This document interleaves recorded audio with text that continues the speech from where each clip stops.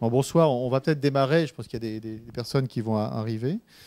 Euh, donc, bah, merci d'être là pour. Euh, ça va être la cinquième hein, conférence du, du LEST. Et cette fois-ci, on l'a fait en association avec euh, l'Institut d'hygiène industrielle et, de l'environnement du CNAM. Et on est très content d'accueillir de, nombreux étudiants du CNAM, si j'ai bien compris. Et, et donc, c'est un sujet assez, assez original. c'est comment l'ergonomie, on a réussi à détourner grâce à l'ergonomie des toxicologues et, euh, on, est, très content de ça et on est très content d'accueillir le, professeur Brahim Mohamed Brahim qui est, toxicologue de, formation, euh, toxicologue industriel, hein, plus euh, industriel, et puis qui a, travaillé avec des collègues bordelais depuis une quinzaine d'années et qui a été progressivement contaminé par l'ergonomie et, a développé avec Alain Garrigou et d'autres, mais c'est quand même eux les deux membres éminents, le concept d'ergotoxicologie qui, vont, euh, qui va vous être développé et qui est une approche intéressante de, en quoi l'analyse de l'activité ergonomique peut servir à autre chose que les TMS dont on parle tout le temps ici, mais aussi à des questions de compréhension des, euh, des contaminations et c'est un élément très important de compréhension de la prévention ou pourquoi la prévention marche ou ne marche pas. Et ça, je pense que c'est très original comme approche. Et pour les, hygiénistes industriels, je, pense que ça va, vous révéler certains, types d'approches. Et donc, on, est, très content de, t'accueillir ici. Et puis très content d'accueillir Mme Faisan, qui, va, qui je vais passer la parole, qui va euh, vous développer un petit peu le fonctionnement de cette, cette soirée. Merci. Bien, écoutez, bonne soirée et bonsoir à tous. Effectivement, nous sommes ravis de vous accueillir parce que finalement, c'est un, projet que nous avions depuis quelque temps, que de rapprocher l'activité d'Ivroclore et celle de l'IHIE, finalement, euh, dans la mesure où dans cette pièce, finalement, il y a des hygiénistes du travail en devenir ou en poste actuellement, mais également des futurs médecins du travail, des médecins du travail en activité et également des membres de services de santé au travail qui tous travaillent à la même finalité qui est l'amélioration des conditions de travail et la réduction de l'impact du travail sur les, sur les individus. Euh, Monsieur Rockler a parlé de contamination. Je pense que ce type de soirée a pour objectif de faire en sorte que les hygiénistes soient un peu contaminés par euh, d'autres approches. Et je pense que cette présentation sera justement une bonne illustration de, de la pluridisciplinarité, de la multidisciplinarité et, du, de l'interdisciplinarité dans l'approche euh, qui vise justement à, à, travailler sur les conditions de travail et notamment la réduction des expositions professionnelles. Voilà, je vous souhaite une bonne soirée et donc euh, place aux questions après la présentation donc, de M. Brahim. Merci. Donc, euh, bonsoir, très rapidement pour euh, me présenter. Donc, moi, j'ai une longue carrière universitaire jusqu'en 2002, 2001, où mon dernier poste a été euh, celui de professeur de santé au travail à Bordeaux. Et puis, euh, une fois n'est pas coutume, j'ai décidé de quitter l'université en 2001 pour euh, me consacrer à l'intervention, et plus exactement à l'intervention pluridisciplinaire. 2001, c'est l'année de parution du, du, texte sur l'obligation pluridisciplinaire des services de santé au travail. Et donc, j'ai euh, proposé au service euh, de santé au travail de Midi-Pyrénées de créer une association euh, interservice pluridisciplinaire. Donc, qui existe donc depuis 2005 maintenant et qui regroupe 13 intervenants entre toxicologues, hygiénistes, psychologues cliniciens et, et, du travail, ergonomes, etc. Voilà. Donc, euh, mon propos est. Euh, euh, non, je ne sais pas ce que je dois faire là.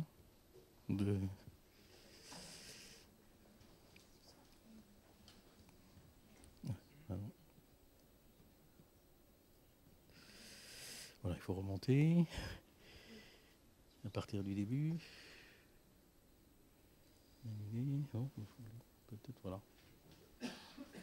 Merci. Voilà, donc on va parler d'ergotoxicologie. Alors euh, c'est un terme euh, qui est associé en fait juste deux disciplines, l'ergonomie et, la toxicologie, mais euh, cela va, comme on va le voir, au-delà d'une simple construction sémantique pour, développer une approche différente de celle que nous avons connue sur le, risque chimique. Alors, c'est pas par ego du tout, mais, mais je, voudrais présenter un peu mon, parcours parce que l'ergotoxicologie, si vous voulez, c'est une construction qui, a été très longue. avant que, que, n'émerge le, concept et avant en tout cas que moi et Alain Garrigo on s'en empare pour en faire quelque chose pour modéliser. Donc moi, je, au départ, je suis médecin de santé publique, alors euh, donc santé populationnelle, et très vite, je me suis intéressé euh, au milieu du travail, donc je, me suis spécialisé euh, en, santé au travail. ça s'appelait à l'époque la médecine du travail. donc, mais en fait, pour moi, ça a été d'emblée la santé au travail, puisque j'avais rapatrié les concepts de santé publique dans une population particulière qui est la population au travail. Et puis quand j'ai commencé à, travailler euh, dans l'entreprise, parce que bien qu'étant universitaire, euh, mon champ d'intervention a toujours été le, milieu de travail, euh, je me suis aperçu que j'étais confronté à, des problématiques à la fois économiques, managériales, etc. Et je me suis inscrit à une maîtrise des sciences économiques, donc j'ai fait des sciences économiques. Ça me semblait intéressant pour comprendre un peu ce qui se jouait dans l'entreprise. Euh, ensuite, bon, comme j'étais universitaire, il fallait faire un, doctorat en sciences. donc, euh, il y avait un facteur étiologique fort euh, dans le milieu de travail qui est le risque chimique. Et donc, j'ai fait une thèse de doctorat en, toxicologie industrielle à l'Université catholique de Louvain. Et puis, j'ai continué mon, mon, parcours. Donc, je me suis intéressé au risque chimique dans le champ de la santé au travail. Et euh, à un moment donné, euh, alors tout ça se passait dans, un pays qui s'appelle l'Algérie, donc avec euh, des problématiques différentes de ce que vous avez pu, enfin différentes, peut-être pas, peut-être pas finalement. mais enfin, c'était l'époque, disons, des transferts technologiques vers les pays qu'on appelait en voie de développement. Et j'ai été confronté à une problématique toxicologique, enfin qui était à l'origine toxicologique dans une industrie électronique et je me suis aperçu que le problème n'était pas du tout euh, toxicologique, mais il était euh, social, anthropologique. Donc, euh, curieux, j'ai repris mes études et, j'ai fait une maîtrise en sociologie où je me suis intéressé plus particulièrement à l'anthropologie sociale et culturelle pour essayer de comprendre comment les, personnes finalement intègrent l'innovation technologique. Parce que ça me semblait important d'avoir un discours opérationnel auprès des salariés. Voilà. Et puis ensuite, vint l'ergonomie, euh, parce qu'à force finalement d'être dans le milieu de travail, j'ai compris que l'activité pouvait peut-être avoir, un, là-dedans. Et donc j'ai rencontré euh, François Danielou à l'occasion de ma nomination à Bordeaux, et euh, je me suis inscrit, comme d'habitude, à, un master d'ergonomie, puisque tant qu'à faire, je voulais valider cette formation-là. Et comme j'avais quand même ce passé toxicologique, bien que le master ergonomie de Bordeaux est plutôt consacré à la conception architecturale, j'avais eu ce privilège de ne pas m'intéresser à ça et de voir comment je pouvais euh, comprendre euh, le risque chimique à partir de l'activité de travail. Et je crois que c'est là où, j'ai découvert finalement euh, l'ergotoxicologie. Alors je me suis aperçu que je n'étais pas le premier à le découvrir, puisque, comme on va le voir, deux ou trois autres auteurs en avaient parlé avant. Et donc c'est comme ça qu'est né euh, l'ergotoxicologie, que je considère moi ce passage-là comme une véritable rupture épistémologique entre une formation euh, scientifique dure et le fait d'injecter dans cette, ces sciences dures qui semblent euh, de l'ordre de l'expertise. À partir du moment, si vous voulez, où j'ai fait de l'ergotoxicologie, j'ai cessé d'être expert. voilà. Donc j'ai pensé que l'expertise était détenue par d'autres et que moi j'étais là un facilitateur pour que les expertises à la fois des salariés euh, euh, et puis de, la connaissance toxicologique puissent s'exprimer. Voilà. Franchement, je voulais vous montrer ça parce que ça montre que le parcours pluridisciplinaire n'est pas simple finalement, et qu'en fait la réalité nous interroge constamment et on est obligé à un moment donné d'injecter. Euh, bon, moi j'ai fait ce parcours en Algérie parce que j'avais pas forcément des anthropologues à côté euh, pour travailler avec moi et peut-être ça les intéressait pas trop le, risque chimique. Donc j'ai été euh, me former moi-même. Alors, pour revenir maintenant à la, question du risque chimique qui est au centre de, de cette intervention. Donc, au départ, il y a d'abord le risque chimique. Alors, c'est quoi le risque chimique euh, Dans le monde, euh, le CAS, euh, à zéro heure, on avait enregistré 56 869 780 substance toxique, avec un numéro CAS. Donc on a à peu près toutes les 20 secondes une nouvelle substance qui est enregistrée sur CAS. Donc voilà, le problème est, gigantesque. Et il n'est pas à la mesure de l'homme. Euh, en Europe, à travers REACH, en 2005, 100 204 substances répertoriées et en vente dans l'Union européenne. C'est l'inventaire Enex. 30 000 commercialisées en quantité supérieure à une tonne par an. Alors, ce qui est dangereux, c'est qu'en fait, 65% de ces produits, on ignore complètement euh, euh, leurs effets. Et ça dépendra des effets. Alors, les effets aigus sont plus ou moins bien connus. Quand on arrive aux effets cancérogènes, il y a moins d'une substance sur deux euh, qu'on a étudiée pour ces effets cancérogènes, mutagènes ou reprotoxiques, par exemple. Au 1er décembre 2010, donc entre-temps, il y a eu REACH. REACH donc, se proposait de rattraper un peu ce retard. on voit que 20, 000 dossiers ont été déposés à peu près euh, dont 9% par des entreprises françaises, et 3400 substances enregistrées pour 9200 prévues. Donc on a euh, un, retard relativement important euh, d'enregistrement à la date qui était prévue au départ. Et puis, en janvier 2011, nous étions à 24 substances proposées à autorisation par l'ANSES. Donc vous voyez, 24 substances, 56 millions.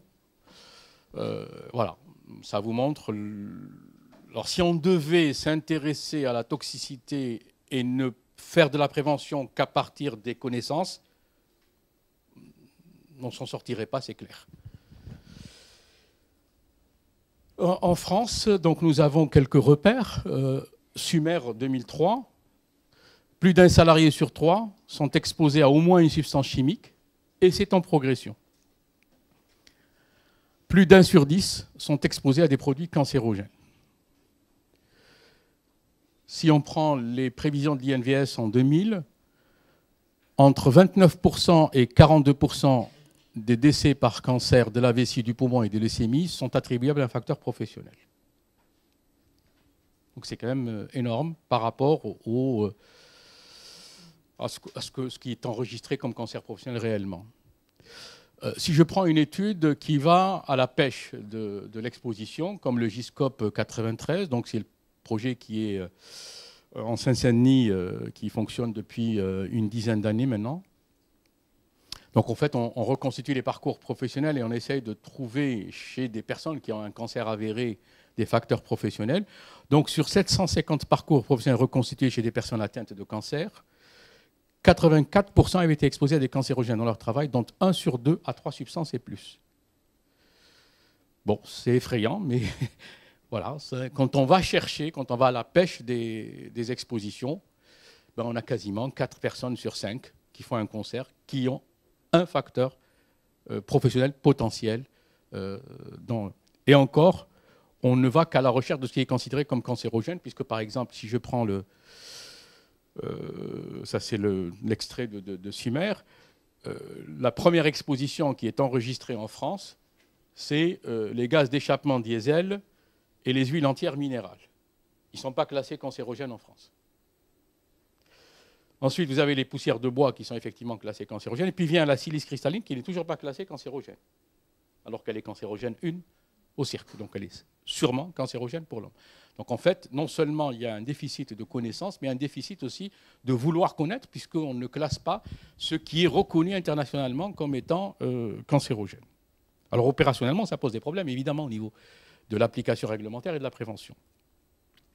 Alors tout cela va donner euh, des effets différés. Bien sûr, euh, il y a des médecins du travail, je pense ici dans la salle, qui, voient un peu l'augmentation en 2000-2005 de ce qui est simplement reconnu par la caisse d'assurance maladie. Vous voyez qu'il y a une augmentation des tableaux 30, 30 bis et 57, ça, ça se comprend, mais que cette évolution n'explique pas euh, toute l'évolution de maladie professionnelle. Il y a autre chose. Et derrière, qu'est-ce qu'on a? Eh bien, On a les CMR, euh, tout ce qui est cancérogène plus exactement, mais aussi les allergies, les troubles neuropsychiatriques sur lesquels on a beaucoup moins travaillé, euh, le cas des pesticides en particulier, sur lequel, bon, moi j'avais pas mal publié dans les années 90-2000. Et puis, c'est des questions qui sont caractérisées par une grosse incertitude scientifique, euh, en particulier autour de la relation dose-réponse et de la réversibilité des troubles qui sont constatés à un moment donné. Par exemple, on avait montré clairement chez des salariés agricoles qui avaient été exposés une vingtaine d'années aux pesticides qu'ils avaient des troubles neurocomportementaux. On ne sait pas encore si ces troubles seraient réversibles ou pas si on retirait ces salariés de leur activité. Et puis tout ça, comment c'est géré? Mal. Donc on a un cas d'école euh, que vous connaissez bien, c'est l'exemple de l'amiante. Euh, le lien euh, amiante-cancer du poumon et puis mésothélium ont été établis en 55 et 60, donc il y a bien longtemps. on voit que l'option pour l'usage contrôlé est intervenue 17 ans après qu'on ait, ait, su qu'il y avait des mésothéliums liés à l'amiante. Cette illusion de l'usage contrôlé, donc il y avait le marquage spécifique des produits, on a fixé une VLEP pour un certain nombre de fibres, on a interdit, on a euh, restreint l'usage, mais c'était au cas par cas avec beaucoup de dérogations derrière. Et puis tout ça a été géré euh, par l'État, par les partenaires sociaux, euh, donc on ne peut pas accuser X ou Y d'avoir été responsable. C'est le système en soi qui a été défaillant, donc avec maintenant une incidence du mésothélium que vous connaissez bien. Donc franchement, il est clair qu'on a complètement été à côté de la plaque sur la gestion de ce risque-là. On n'en a pas d'ailleurs tiré les leçons, puisque les décrets de 2003, on est resté dans une vision extrêmement talorienne de, la prévention. Alors, derrière tout ça, il n'y a pas des hommes mal intentionnés et des femmes mal intentionnées, peut-être qu'il y en a, c'est à la justice de le montrer, euh, moi, j'ai essayé de chercher qu'est-ce qui s'est joué autour de ça. C'est quel, modèle finalement il y, a, Comment on a réfléchi pour arriver à une telle catastrophe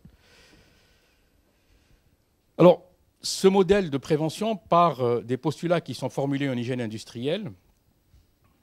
Je vous mets à l'aise, je suis un hygiéniste industriel puisque j'ai un doctorat en toxicologie industrielle, donc euh, la critique est valable pour, pour ma propre démarche il y a quelques années.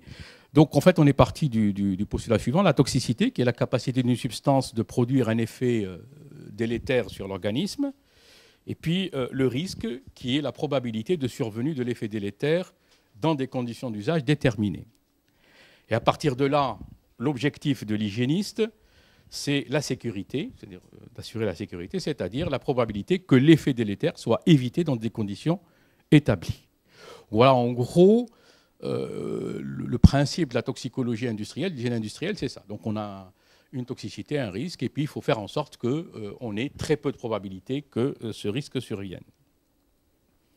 C'est bien ce que disent les éminents toxicologues, dont mon directeur de thèse, Loeris, dans le Casaret et Dulce, qui est la Bible des toxicologues. L'évaluation du risque prend en compte les effets délétères qui surviennent chez les individus par l'usage d'une substance à la quantité et de la façon prescrite. Donc on est bien dans de la prescription. C'est-à-dire que l'hypothèse qui est formulée par les toxicologues, c'est qu'eux peuvent formuler des prescriptions d'usage. L'objectif de sécurité est alors atteint si les conditions d'exposition et les tâches des ouvriers sont bien définies au préalable. C'est-à-dire qu'on part du postulat que, en dehors du milieu de travail, on peut définir comment les choses doivent se passer. C'est un postulat de départ. Alors, à partir du moment où on a ce postulat, eh ça devient très simple. Ça va se traduire sur le plan réglementaire de différentes façons. Par exemple, si vous lisez le Code du travail, application de procédures et de méthodes de travail appropriées, mais qui décide du caractère approprié ou non des méthodes, ça, personne n'en parle. Ne présente pas de risque, ça si vous lisez les fiches données de sécurité souvent, ne présente pas de risque particulier sous réserve d'un usage normal et du respect des règles générales d'hygiène.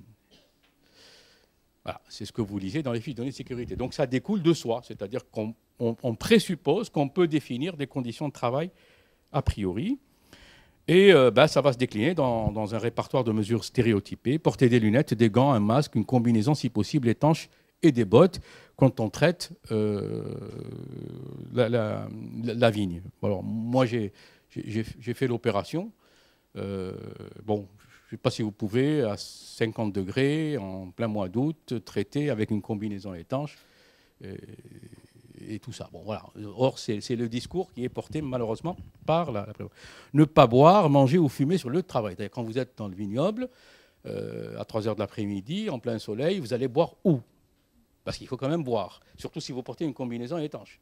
parce que la température centrale a augmenté entre-temps, puisqu'il y a à peu près 6 degrés de différence quand vous ne la portez pas ou quand vous la portez.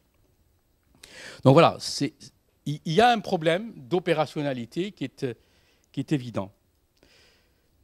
Alors, tout cela, ça va se décliner dans un modèle que moi j'ai appelé le modèle par écran. C'est-à-dire, en fait, quel est le, modèle que nous avons en tête Donc, nous avons un opérateur euh, auquel on a prescrit une tâche. Et puis, cette tâche va l'exposer à une substance. Et cette substance peut produire un effet indésirable sur l'organisme. Alors, qu'est-ce qu'on fait? On va inventer des barrières. Alors, dans la prescription, on va ajouter les équipements de protection et les consignes de sécurité.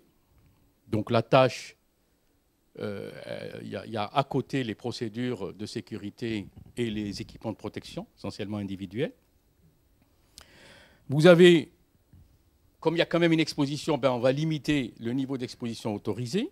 Donc on va mettre une deuxième barrière sur euh, la deuxième flèche. Et puis finalement, comme il y a quand même des salariés qui vont échapper à tout ça, on a inventé la non-contre-indication médicale. C'est-à-dire que le médecin du travail va juger si finalement il n'a pas en lui le risque euh, et que ben, même s'il était protégé, il va quand même risquer de faire un... voilà. Alors ça, c'est un peu le, modèle de fonctionnement de la prévention aujourd'hui. C'est le modèle dominant. Alors, en quoi ce modèle n'est-il pas opérant? Pourquoi ça ne marche pas finalement? Pourquoi on a des cancers euh, des mésothéliums? Eh ben, D'abord, si je prends la première barrière, les équipements de protection et les consignes de sécurité, alors ne sont pas intégrés a priori au procédé de travail. C'est-à-dire qu'on considère, on, crée le process de travail, et puis s'il y a des vapeurs, on va donner un masque, et s'il y a des éclaboussures, on va donner des gants. en fait, euh, la problématique des équipements, c'est qu'ils ne sont pas intégrés au process. Quand vous mettez en place une procédure, euh, je donne un exemple, euh, j'ai observé euh, des semenciers qui euh, traitent les semences avant leur épandage. Alors, à chaque fois que vous changez de semence ou que vous changez de produit, d'imprégnation, on nettoie les équipements systématiquement pour ne pas contaminer des graines qui ne doivent pas être traitées par telle ou telle substance. Sauf que quand on regarde, ce, ce, nettoyage se fait huit fois à peu près dans la journée, sur une journée de 10 heures de travail, en gros, au mois de juillet-août, on fait 8 nettoyages. En période de pic, ça fait 12 nettoyages. Alors un nettoyage, il faut s'équiper. C'est-à-dire qu'il faut porter la combinaison, euh, le masque, etc. Ensuite, il faut faire le nettoyage et se déséquiper. Euh, s'habiller et se déshabiller prend à peu près 20 minutes. Bon, si vous faites ça 8 fois par jour, il faut travailler ou ou se protéger. Vous ne pouvez pas faire les deux. Donc, si on n'intègre pas l'organisation du temps de travail dans le, port d'équipement dans l'organisation, il n'y a aucune chance que ces équipements puissent être portés. Donc le choix du salarié se fera toujours, ben, il faut que je, bosse. J'ai une quantité de semences à traiter, il faut que je les traite. Alors si je dois les traiter, je ne peux pas perdre deux heures à m'habiller, à me déshabiller. Donc je ne m'habille pas. C'est ce que je veux dire. En, voilà. Et, pour les masques, c'est la même chose. Et, et donc, du coup, il y a des contraintes et de la non-observance. Donc on, détourne, on contourne, etc. Alors nous, on se plaint toujours, les toxicologues, les hygiénistes, quand on va, ah mais ils ne portent pas leur masque, mais ils ne font pas ceci, ils ne font pas cela. Alors je vous le dis qu'on reste dans ce modèle, puisque les derniers textes euh, prévoient effectivement des niveaux, des normes différentes en fonction du port ou pas des moyens de, protection. C'est dire la confiance qu'on fait, euh, sans parler de l'efficacité intrinsèque des moyens de protection, puisque par exemple sur les combinaisons étanches aujourd'hui, nous n'avons aucune sur le marché. Le problème est simple. Euh, puisque après l'alerte qui a été donnée justement parce qu'on avait trouvé dans, nos recherches que lorsqu'on était euh, protégé par une combinaison, on était plus que contaminé que quand on ne l'était pas. Euh, comment le présenter aux salariés?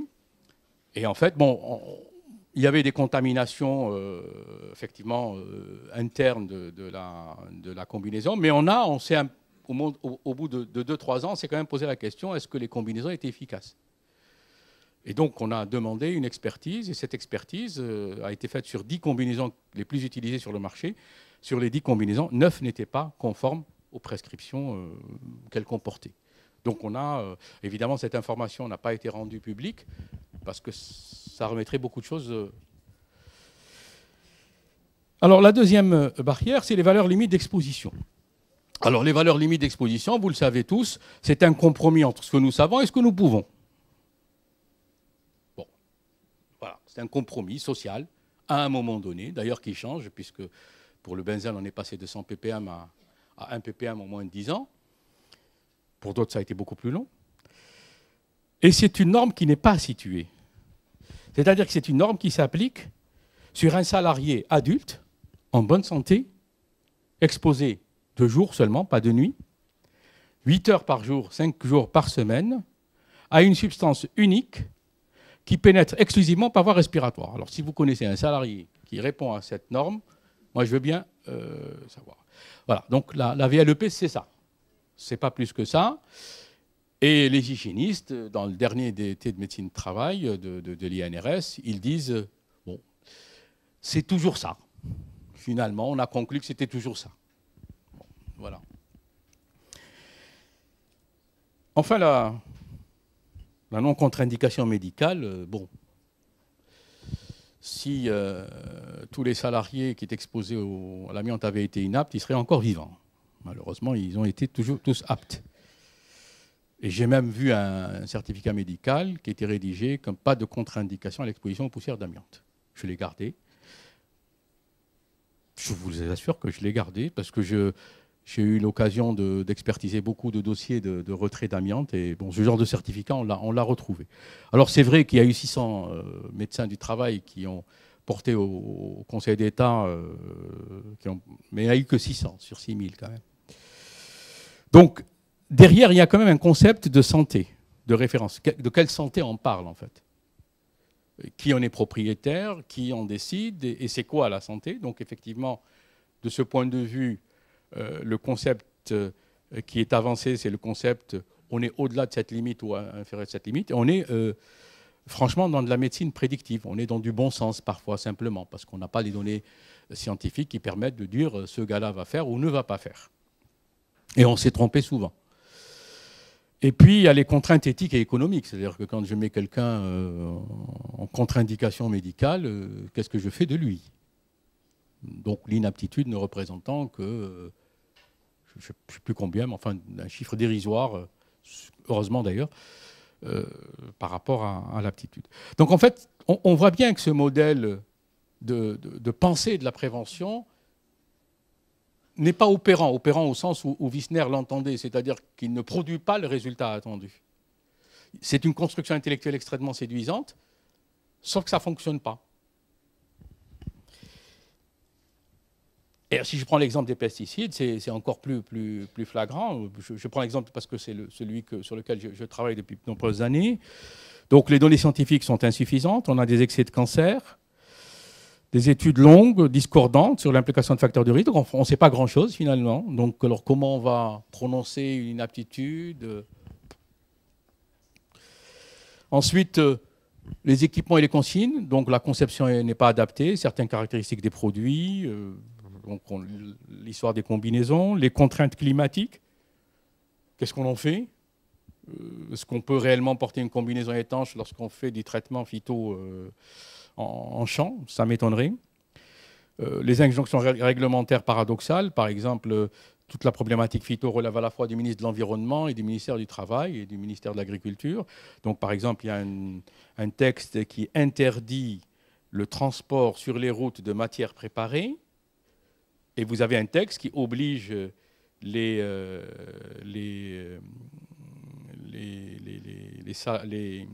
agriculteurs à avoir un lieu de préparation. Alors, si vous avez un seul lieu de préparation, il faut bien transporter vos préparations par la suite.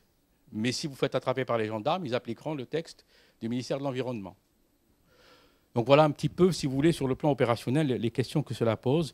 Et puis, euh, pour euh, euh, les fameuses VLEP, bon, on est quand même en plein air euh, le plus souvent, et puis on a 9000 produits, 900 substances actives, 30% de turnover annuel, c'est-à-dire que chaque année, l'agriculteur change un tiers de, ses préparations. Alors comment Et puis la question de la pénétration cutanée qui n'est pas prise en charge par la VLEP, bien entendu. Donc on voit très bien que sur la question des pesticides, par exemple, le modèle n'est pas opérationnel du tout. Alors vous me dites une fois que vous avez dit ça, qu'est-ce qu'on fait alors? Bon, c'est bien beau de critiquer, mais après, il faut résoudre les problèmes. Alors, euh, on ne prétend pas en tout cas les résoudre entièrement, mais euh, on a imaginé une construction un peu différente. Alors, l'ergotoxicologie a une date de naissance qui est très récente, puisque quand on fait une revue de la littérature, le premier qui a utilisé le terme, en tous les cas, euh, en tout cas, ou, qui, n'a pas utilisé le terme, mais qui a parlé de l'intérêt d'une approche qui prenne en compte les risques et les coûts réels des organismes soumis aux atmosphères toxiques dans la complexité d'une situation de travail. C'est-à-dire que Del Volvé a effectivement été le premier à dire attendez, peut-être c'est un peu plus compliqué que ça, parce que la situation de travail est plus complexe, en fait. Et puis euh, qui en 85 est le premier euh, à, mentionner le terme euh, ergotoxicologie, il parle d'une approche ergotoxicologique qui implique que dès à présent, on utilise les normes comme point de repère plutôt que des certitudes de non-danger.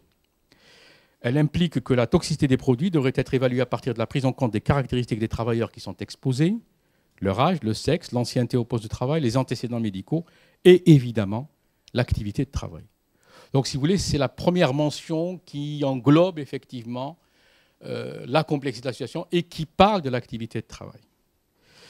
Et puis, euh, Wissner, dans, le sillage un peu de l'anthropotechnologie, s'est intéressé un peu à la question au Brésil. C'est pour ça qu'il a dirigé la terre de Snelvar, dans 92, euh, qui a été le travail le plus accompli historiquement en ergotoxicologie. Il dit euh, dans sa thèse en particulier que l'organisation du travail et la stratégie d'utilisation sont des aspects fondamentaux dans l'exposition aux biocides. En étudiant l'activité déployée par les opérateurs aux différents postes de travail où ils exercent pour accomplir cette tâche, nous pouvons établir une claire différenciation de l'exposition existante à chaque étape. Les producteurs et les salariés agricoles possèdent une représentation du risque sanitaire encouru par l'exposition aux biocides, même si les mesures d'hygiène et de protection prescrites sont difficilement respectées.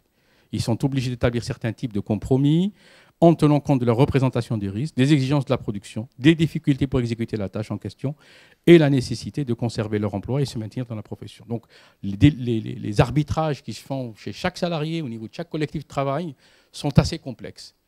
Et donc c'est très facile de dire il ne porte pas la combinaison, il ne porte pas le gant, il ne porte pas. C'est beaucoup plus complexe que ça. Et, Schnellvar a eu ce mérite d'avoir porté enfin d'avoir mis le doigt sur ces questions-là.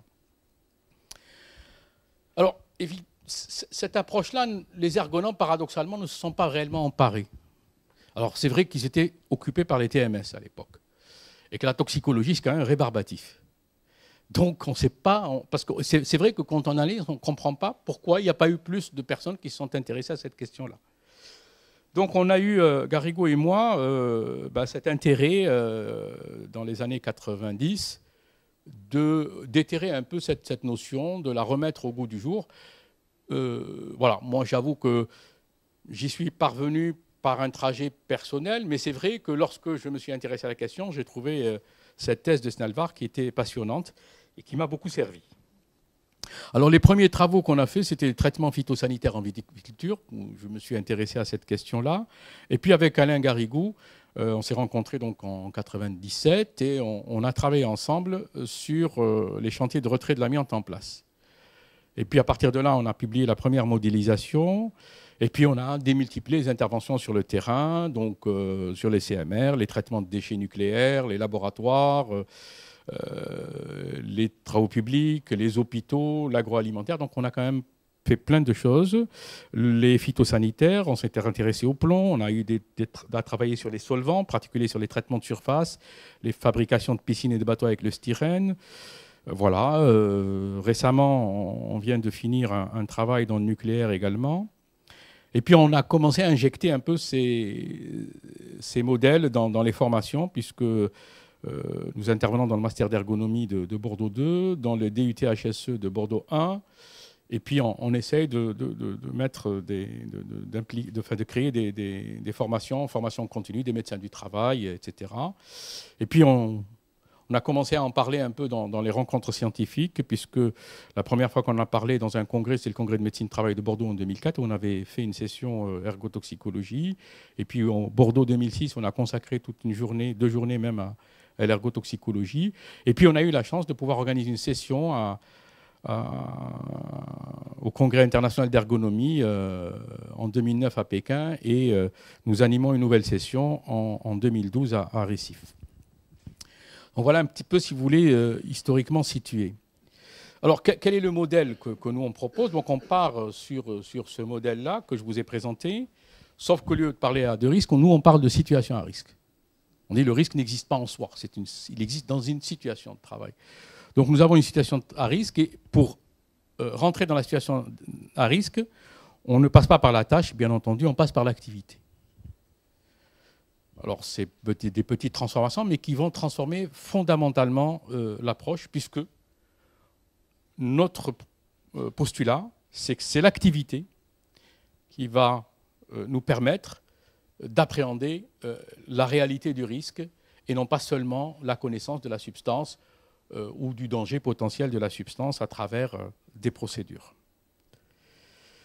Alors ce modèle en action, c'est quoi? En fait, quand on va analyser à travers l'analyse de l'activité, donc qui est le, fondamental en ergonomie, donc on va essayer de comprendre la situation à risque et de la rapporter à un certain nombre de contraintes qui peuvent être d'ordre technique. Et dans les contraintes techniques, nous avons les caractéristiques des substances, comment elles se comportent dans l'environnement, quel est leur pouvoir de pénétration dans l'organisme par les différentes voies, les exigences du process, comment le process va intégrer ces substances-là et comment il va peut-être les modifier, les transformer ou créer des opportunités de contact, les disponibilités technologiques, on peut, on ne peut pas, parce que c'est facile de dire le travail en vase clos, mais euh, une fois qu'on l'a dit, euh, comment ça se passe au niveau technologique, donc c'est peut-être pas possible. Les contraintes architecturales, parce que euh, quand on est dans un atelier, eh ben, un atelier, il n'a pas toujours été conçu pour ça, donc c'est parfois des restructurations. Ça, bon, ceux qui, travaillent dans le milieu de travail le connaissent. Donc, qu'est-ce qui fait qu'on va se retrouver avec une exposition inutile pour des salariés qui ne devaient pas se trouver là? Donc, ça, c'est les problèmes architecturaux, etc. Donc, on va, on va essayer de, lister toute une série de, contraintes que l'analyse de l'activité va nous permettre de, Ensuite, nous avons les contraintes organisationnelles, les horaires, les rythmes de travail. J'ai parlé tout à l'heure de l'exemple de, de s'habiller, se déshabiller et la question de l'horaire. Euh, sur les chantiers de déflocage, par exemple, on s'est beaucoup intéressé à, ce problème de l'organisation horaire du travail, puisque le décret euh, sur le, désamiantage dit que le travail en zone est limité à un maximum de 2h30. Sauf qu'il ne dit pas euh, si le fait de sortir de zone et de revenir en zone 5 minutes après, c'était réglementaire ou pas. Donc, clairement, les employeurs intelligents bah, ils faisaient sortir leurs salariés, puis ils les faisaient re-rentrer euh, cinq minutes après. Et donc, nous, on a un peu démonté ce, système pervers où, finalement, il n'y avait aucune récupération possible. Mais c'était réglementaire, c'était légal, il n'y avait rien de. Donc, la démarche qualité, qui parfois, en ajoutant des procédures, va compliquer la prévention. Et donc, on s'intéresse euh, comment est abordée la question de la qualité. Est-ce que la qualité de produit, c'est aussi la qualité du travail? C'est pas dit du tout. Le marketing, comment on, vend, comment on présente un produit? Et en, matière phyto, par exemple, on, va le montrer dans un exemple, c'est une problématique forte. Euh, vous savez, le conseil phyto, il se fait par les vendeurs. Euh, voilà, donc euh, c'est comme les médicaments. oui, un peu. Et puis nous avons les contraintes humaines les caractéristiques démographiques, euh, de quelle population il s'agit, euh, des, hommes, des femmes, des jeunes, des, personnes âgées. le statut contractuel, par exemple, quand on s'est intéressé au, chantier de déflocage, on, a posé la question aux gens, mais quand ils ne sont pas au déflocage, qu'est-ce qu'ils font d'autre? Alors ils étaient dans le nucléaire et nettoyage industriel. En fait, quand ils avaient eu leur dose annuelle dans le nucléaire, on les reconvertissait en, désamiantage. Donc c'était important de savoir euh, heureusement d'ailleurs, après cette étude sur l'amiante, le ministère du Travail, euh, sur la recommandation de notre rapport, a interdit euh, aux contractuels de travailler dans, enfin aux CDD de travailler dans les chantiers de développage. La formation, l'expérience, quelles personnes on a réellement, qu'est-ce qu'ils sont porteurs de quoi finalement ces gens-là, etc. Et donc à partir de là, eh on va essayer d'inverser le processus. On va dire, mais quelles sont les actions techniques qui peuvent amener à l'amélioration de la situation de travail? Donc, euh, ben, ça peut être la substitution, mais ce n'est pas toujours possible. Ça peut être des réingénieries de process, ça peut être des acquisitions d'équipements, ça peut être un aménagement architectural, etc. Et puis, on procède de la même façon sur les actions organisationnelles et sur les actions humaines, euh, en termes de formation, en termes de euh, choix. Et on essaie d'inverser le processus de passer d'une situation à risque à une situation que j'appelle de, prévention. Donc voilà, si vous voulez, le, modèle en, euh, en, fonctionnement dans, la réalité. Alors, se pose la question d'analyse de la situation de travail de risque chimique, comment, comment on y va. Donc on a des connaissances qui sont issues de la toxicologie. Donc c'est ça l'intérêt de, de l'approche interdisciplinaire. Donc on travaille sur les expositions réelles, puisque que ce soit la VLEP ou que ce soit les reconnaissances de cancer, c'est agent par agent. Or, le problème, c'est que euh, nous, on est dans une situation où il y a plusieurs agents. Donc, qu'est-ce qui est présent sur le lieu de travail? Quelles sont les opportunités de contact pertinents C'est-à-dire comment, dans la situation de travail, le salarié ou le collectif va rentrer en contact avec le produit? Et je parle de, de contact pertinent, c'est-à-dire que si le produit euh, pénètre par voie cutanée et qu'on a un contact cutané, c'est important. Si le produit ne pénètre pas par voie cutanée et qu'on a un contact cutané, ce n'est pas important pour nous du point de vue des risques. Donc c'est important de savoir par où la substance euh, pénètre, à quelle dose elle est susceptible de pénétrer, ce qui nous permet, quand on va faire l'observation, de nous intéresser effectivement à tout ce qui, toutes les voies de passage possibles. Qu'est-ce qu'on regarde en fait? Et puis l'occurrence, la fréquence et les durées de ces contacts. Comment ça se fait dans, le process, etc. Et puis vous avez le savoir-faire issu de l'ergonomie, c'est-à-dire l'analyse de l'activité. On va voir comment les, consignes de sécurité, les EPI sont appliquées, contournées, détournées, euh, réaménagées, etc. Quelle perception et quelle représentation des risques Ça, c'est un facteur. Alors, ça nous éloigne beaucoup de la toxicologie industrielle, parce que là, on est dans les représentations. C'est-à-dire que quand vous arrivez sur un, chez des viticulteurs pour leur dire je, suis euh, préventeur et je viens m'intéresser aux risques chimiques. Ils vous rient au nez, vous disent oui, ce n'est pas un problème. Nous, on a du bruit, on a des accidents de tracteurs. Ce qui nous préoccupe lui, c'est ça. Et puis après, bon, il faut creuser cela. Euh, donc on, bon, on, a, beaucoup travaillé sur ces questions, par exemple le fait qu'ils euh, sentent un produit, ils le considèrent comme dangereux ou, pas. donc toutes ces perceptions, on a, on a dû travailler dessus. Et puis les conduites d'évitement. Comment eux, à partir de la perception qu'ils peuvent avoir du risque, vont essayer de l'éviter, de le gérer en tous les cas. Et, ça nous apprend énormément de choses. Ça nous donne des expertises euh, euh, de l'ordre du, concret qui sont importantes à exploiter, à voir, à étudier du point de vue de leur pertinence par rapport à l'opportunité de contact, par exemple, et de les valider ou non par un regard expert.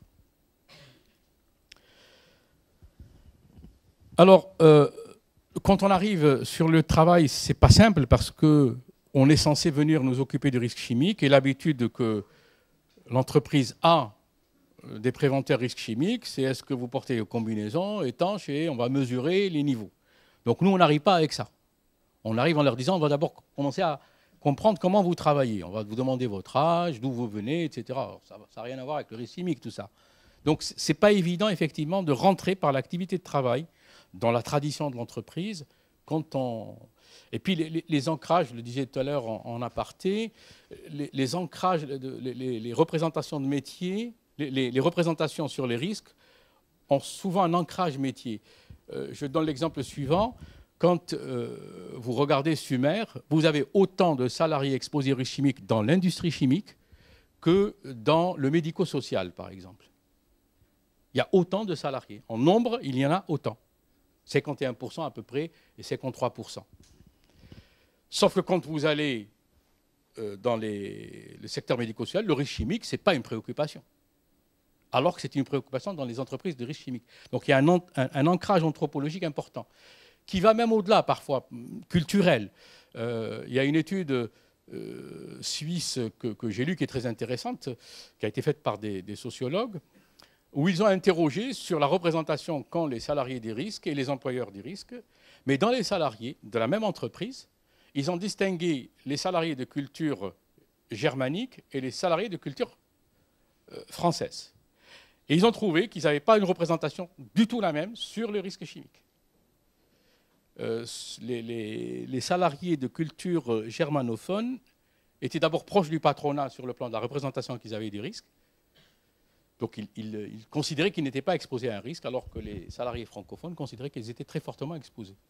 Donc ces ancrages sont intéressants à comprendre si on veut construire avec les gens leur prévention. Parce qu'autrement, effectivement, si on est dans l'expertise, je vais vous dire comment vous allez travailler, c'est plus facile. Donc là, effectivement, le fait d'avoir compris ces aspects anthropologiques sont, importants. Alors je reviens donc au préalable.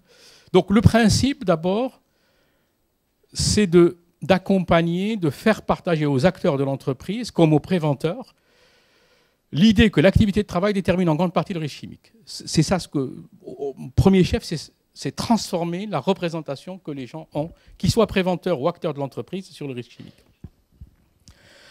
Alors évidemment, il ne faut pas leur faire peur parce que il ne faut, pas que ça soit l'usine à gaz non plus. Euh, c'est le risque, effectivement, que vous rentriez sur, par le marketing pour parler du risque chimique. Alors ça, ils ne comprendraient pas. Donc, ce qu'on va essayer de faire, c'est de régler d'emblée par une audite simple, ce que font les hygiénistes, relevant de l'application stricte de la réglementation en matière de normes, d'exposition par exemple, voir euh, ben, si vous respectez les VME ou pas. Bon, ça, c'est des choses qui ne mangent pas de pain et puis qui nous permettent de nous ancrer dans l'entreprise.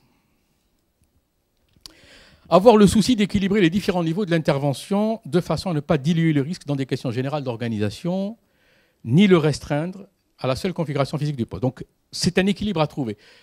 Si on rentre d'emblée par l'organisation, on va noyer le poisson et finalement les gens ne vont pas nous suivre. Donc il faut qu'on trouve le juste milieu entre ce qui relève du macro et ce qui relève du micro. Entre l'analyse du poste du point de vue simplement physique, comme nous avons appris le faire en médecine du travail, et, l'abord du collectif, de l'organisation, de, euh, des représentations, il faut trouver un, équilibre. Euh, euh, il ne faut pas remettre en cause les approches des préventeurs. C'est-à-dire que vous n'allez pas venir leur dire vous ne savez pas travailler, nous on va vous montrer comment travailler.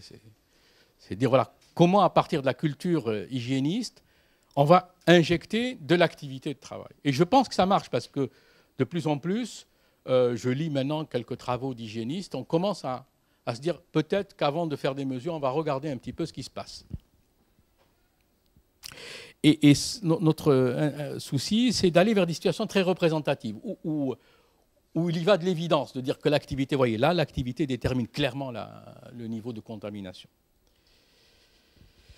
Et bien expliquer que la mise au cœur de la démarche de l'activité de travail et des régulations individuelles et collectives ne saurait être traduite en termes de bonnes ou de mauvaises pratiques, ni in fine en termes d'opérateur auteur de son propre risque. Parce que le danger, il est là. C'est de dire, ah mais puisque c'est l'activité qui détermine, n'a qu'à bien travailler. Donc le problème n'est pas là. Euh, c'est de dire que, euh, je disais tout à l'heure, il n'y a pas de comportement, il n'y a que des conduites. Toute conduite au travail, fut-elle dangereuse, est intelligente. C'est-à-dire qu'il y a une logique derrière. Euh, et le problème, c'est comment on va pénétrer cette logique? Comment on va la mettre sur la table, la mettre en discussion? Donc la question, c'est surtout d'éviter de dire, parce que quand on a fait par exemple les premiers DU, des documents uniques d'évaluation, il y a beaucoup d'employeurs qui ont fait cela à partir d'interrogatoires de salariés. Donc ils deviennent auteurs de leur propre. Euh, c'est vous qui avez évalué les risques comme étant euh, nuls, donc euh, c'est pas moi. Pas... Donc ça, c'est des problèmes effectivement qu'il faut absolument avoir. Il y, a une éthique de l'approche qu'il faut clairement avoir en tête. Il ne s'agit pas de responsabiliser le salarié sur le risque qu'il court. C'est pas la question n'est pas là. il faut absolument l'éviter, mais de voir comment effectivement un certain nombre de conduites peuvent être raisonnables ou pas raisonnables du point de vue de la gestion du risque. Voilà à peu près, euh, pour essayer d'être équilibré, j'en suis presque une heure euh, là, je vais essayer au moins de vous présenter une, intervention, comment le modèle peut tourner dans la pratique, parce que ça peut vous paraître théorique, mais non, nous, on, le fait tourner. Alors, euh, ça, c'est une intervention à visée diagnostique et préventive.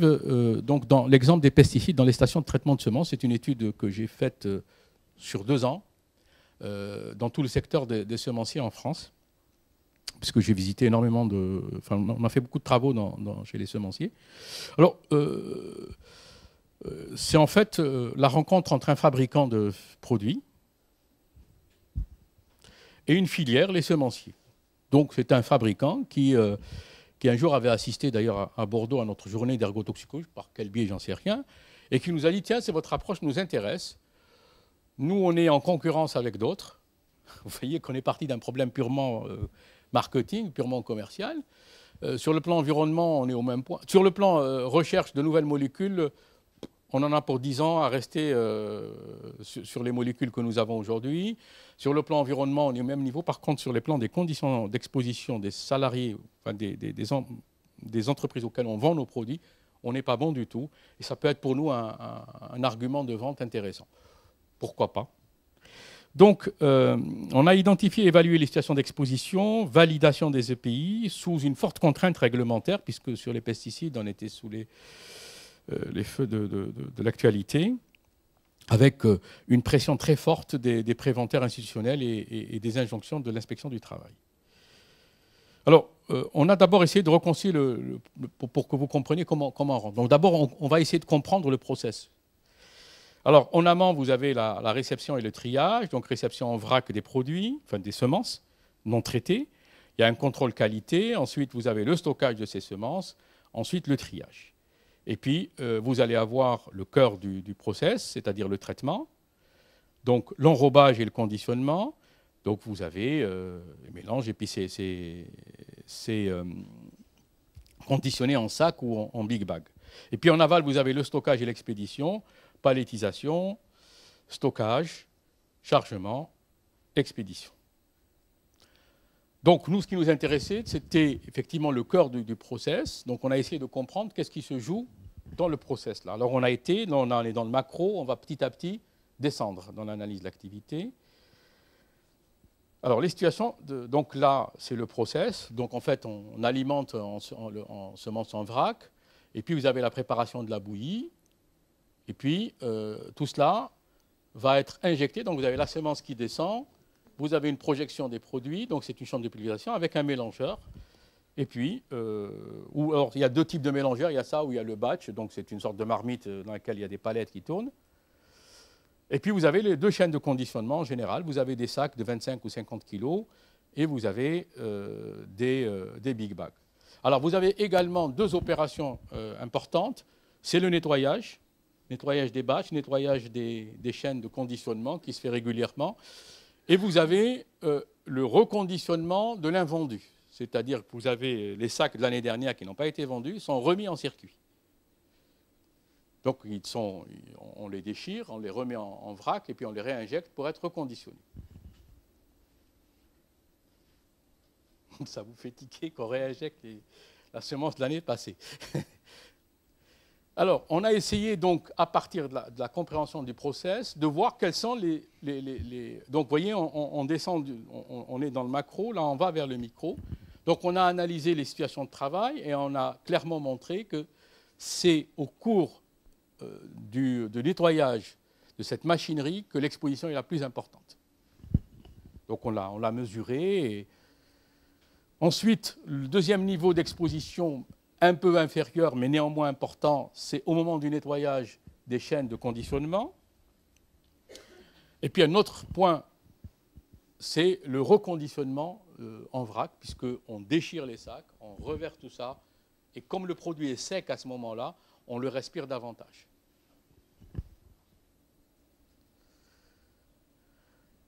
Et puis, il y a la préparation de la bouillie, où on a vu qu'il y avait différentes façons de, procéder. Vous avez soit l'usage de produits purs, soit des mélanges, et donc en fonction de l'un ou l'autre, eh bien, on va être plus ou moins exposé. Donc tout cela a été mesuré, euh, enfin observé d'abord, on a isolé des situations qui nous semblaient être à risque, et on a mesuré pour montrer effectivement. Voilà.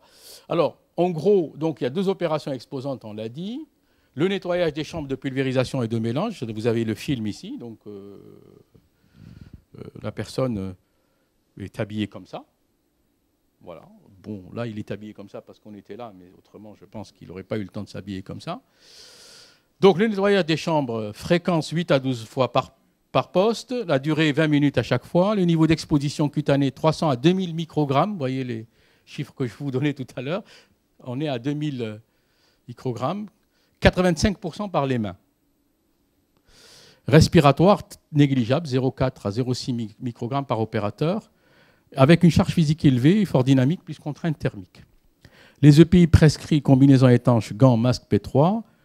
L'observance n'est pas systématique et surtout il y a des voies d'effraction, c'est-à-dire qu'en fait, euh, ben, lorsqu'on remet la combinaison à travers la botte, eh bien, on la contamine de l'intérieur. Lorsque les gants ne remontent pas, bien, on contamine le poignet. Et on a eu, par exemple, à montrer que 100% de la, contamination se faisait par les poignets uniquement. Deuxième opération euh, contaminante, c'est la mise en vrac et le reconditionnement. Vous voyez, donc ça, c'est des sacs de l'année passée. Donc la fréquence est aléatoire, ça dépend des quantités restantes. La durée, c'est un poste par semaine à peu près.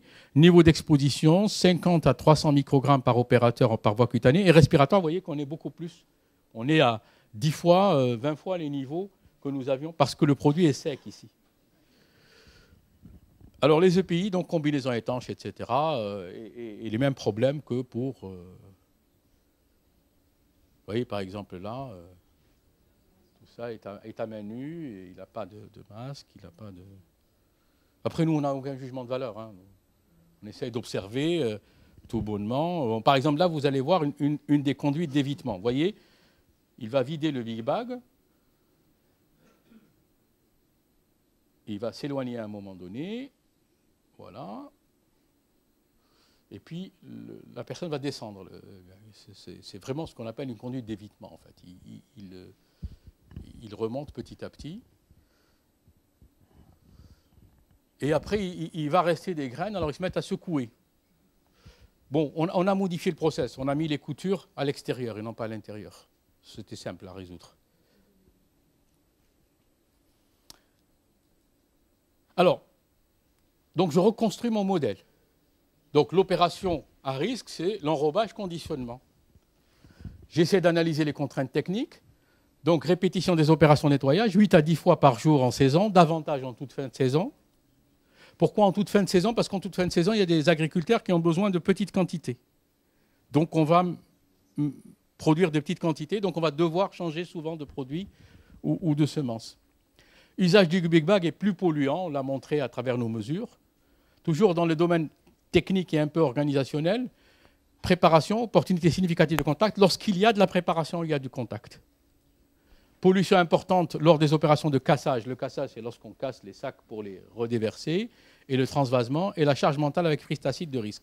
C'est-à-dire qu'en fait, euh, euh, euh, en, en, saison, ils vont aller jusqu'à 12 heures de travail par jour parce qu'il faut finir.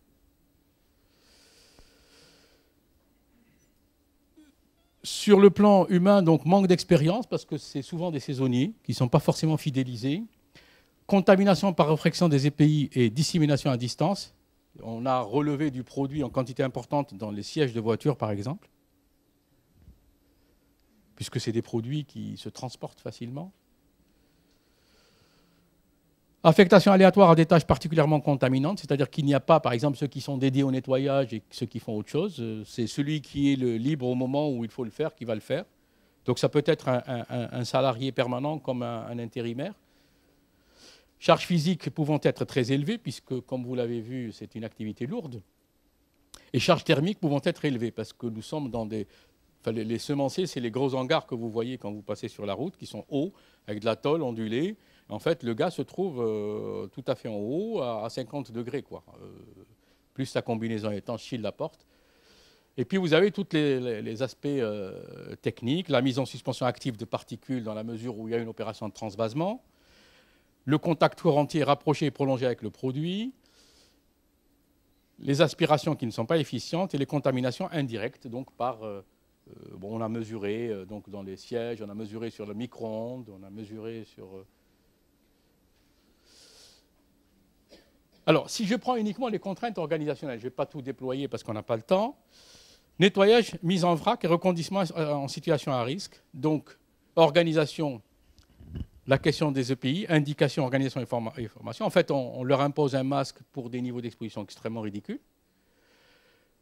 Euh, alors que si on protégeait uniquement les gants, c'est-à-dire 85% de la pénétration, si on fait tout un travail sur les gants, on peut réduire de 85% le niveau de contamination. C'est ça ce que j'appelle un modèle opérant, c'est-à-dire qu'on va vers ce qui est faisable.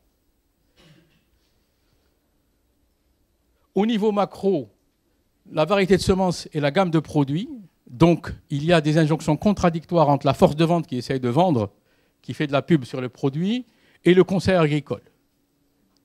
Et donc, comment gérer ces problématiques-là? On est loin du risque chimique, mais en fait, ça va déterminer le risque chimique. Puisque si on réduit en fait la gamme de produits, on va réduire le nombre de nettoyages. Donc on va concrètement réduire la contamination. Donc on a travaillé sur ça par exemple, et sur cette question, on est passé d'une gamme de 19 substances à 5 substances, avec le fabricant. Donc on a réduit de 4 fois le niveau de contamination. Gestion des commandes et des stocks, c'est tout le problème à la fois des invendus qui fait qu'on fait du cassage et euh, les rythmes infernaux en fin de saison, parce que les prévisions sont mal euh, faites au départ. Donc là, on, engage on peut engager un travail avec les exploitants. Alors, les actions organisationnelles, donc, implication de la force de vente dans l'aval et la production d'un argumentaire en direction des clients. Donc, c'est ce qu'on a fait. Par exemple, on a pris, euh, moi, toxicologue, je me suis réuni avec les commerciaux. On est parti visiter des entreprises parce qu'ils n'avaient, figurez-vous, jamais mis les pieds chez un semencier en dehors du bureau du directeur. Ils ne savaient pas ce qui se passait à l'intérieur. Donc, on est, parti avec eux, on a travaillé avec eux, on a, mis beaucoup de temps de, travail pour arriver à produire un argumentaire de vente avec eux anticipation, constitution de réserve, sous-traitance, coopération à rechercher. Donc, par exemple, on a mis en place un circuit d'échange entre semenciers de la même région. C'est-à-dire, euh, chacun dit cette année, moi, je vais faire un surstock de tel produit. Et puis, toi, tu vas faire un surstock de tel produit. On s'échange en fonction des besoins des exploitants. On a réduit de façon très importante les opérations de cassage en, nouvelle saison et les opérations de fin euh, de saison euh, qui étaient extrêmement contaminantes.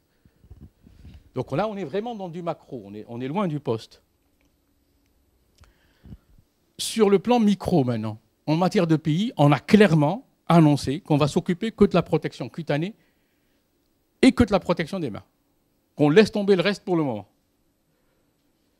Ça allège énormément le discours du préventeur. Ça allège le travail. Communication et évaluation, bien entendu, pour arriver à une situation euh, alors, cette opération, par exemple, qui, se prolonge aujourd'hui, donc nous avons, euh, en deux ans à peu près, couvert une station sur trois. C'est-à-dire 200 stations. Il y a à peu près 600 stations en France. On a fait ce procédé, c'est-à-dire qu'on a mis en place ce qu'on a appelé un, phytomètre. on leur donne des règles d'hygiène et puis ils se comparent entre eux. Donc ça fait de l'émulation, euh, dire quel est le, meilleur au niveau hygiène. Labellisation de la démarche est en cours, c'est-à-dire que cette démarche-là est devenue une, démarche marketing, un service après-vente en fait, pour, l'entreprise. Extension au reste de l'Union européenne en discussion. On pense qu'on va intervenir en Allemagne, mais apparemment la situation est plus complexe qu'en France parce que ce n'est pas du tout les mêmes façons de travailler. Et l'extension à d'autres filières, puisque euh, nous avons travaillé chez les endiviers de la même façon. Bon, voilà, je vais m'arrêter là parce que sinon, euh, bon, j'avais euh, les endiviers. Euh, bon, là, c'est les mesures, comment on les fait. Alors, comment, par exemple, là, c'est important, il me semble, parce que c'est là où, si vous voulez.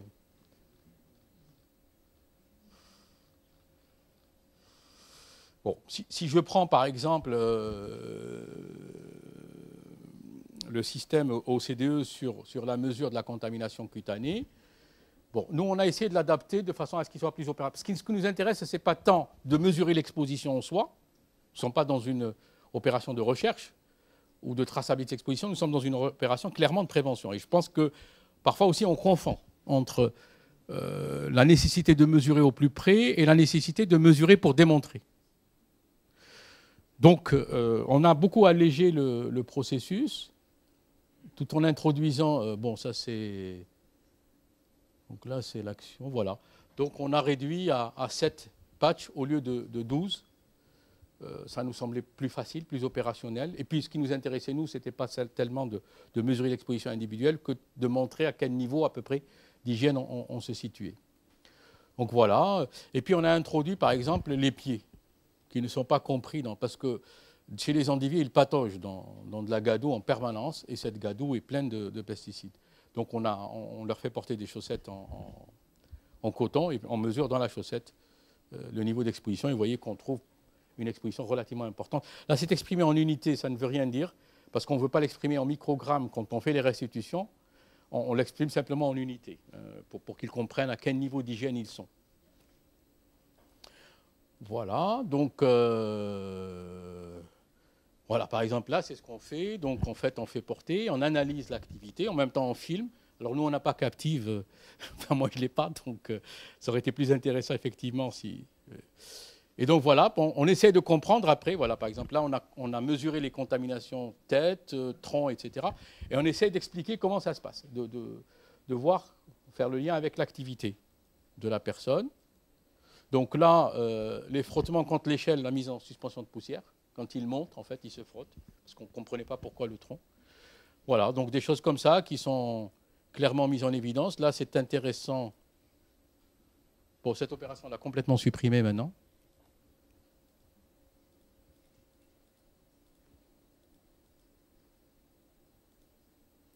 Voilà, là par exemple, euh, comme on fait systématiquement donc, la, mesure sur cette patch, on s'est aperçu qu'on avait 21 unités sur la, jambe euh, droite. On n'a pas compris. Quand on a revisualisé le film, en fait, vous voyez là ce qu'elle fait. De temps en temps, elle appuie pour faire avancer le tapis. Et comme ça dégouline de partout, eh bien, elle en prend plein les, jambes. Donc cette opération, on l'a complètement modifiée. Donc vous voyez qu'en fait, on intervient à différents niveaux. On peut intervenir au niveau macro, on peut intervenir au niveau micro aussi. C'est pas, on n'est pas comme dans la philosophie. On peut intervenir fondamentalement sur des, tendances lourdes de l'organisation, comme on l'a fait chez les semenciers, mais on peut aussi intervenir au niveau micro, en comprenant l'activité et en essayant de... Là, ça, clairement, on a, complètement supprimé cette contamination-là. Voilà. Après, bon, par exemple, là, c'est une étude qu'on a fait en centrale nucléaire sur euh, un, produit cancérogène qu'on n'avait jamais mesuré. Et comme il y a l'obligation de traçabilité, ben on nous a dit est-ce que vous pouvez nous dire à combien ils avaient été exposés à 15 ans? Parce qu'on n'a jamais mesuré. Alors, ça, c'est un truc qu'on avait fait pour les pesticides, qu'on a reproduit. Donc, on a, mis en place un modèle d'analyse. Donc, en fait, le, principe, on va analyser l'activité, on détermine, on, essaye de montrer les déterminants de l'exposition, on mesure euh, le, niveau de, contamination en fonction de ces déterminants. Ensuite, on réunit un panel de salariés, on leur expose les différents déterminants et on reconstitue leur activité professionnelle avec le panel de salariés. À partir de là, on a, on a mis en place des scores. Bon, voilà. Euh, donc, euh, bon, c'est assez complexe, mais en fait, on, on, part de l'activité et on mesure. Et voilà, par exemple, là, on a reconstitué toute la carrière professionnelle à partir euh, d'une mesure en temps réel, mais rapportée et modulée en fonction de l'activité qu'ils ont eue à telle année ou telle année ou telle année. Donc on est arrivé à une fiche de recueil d'historique professionnel et on arrive à chiffrer euh, le niveau d'exposition cumulé sur toutes les années où ils ont travaillé. Et on, l'a validé en, mesurant, euh, si vous voulez,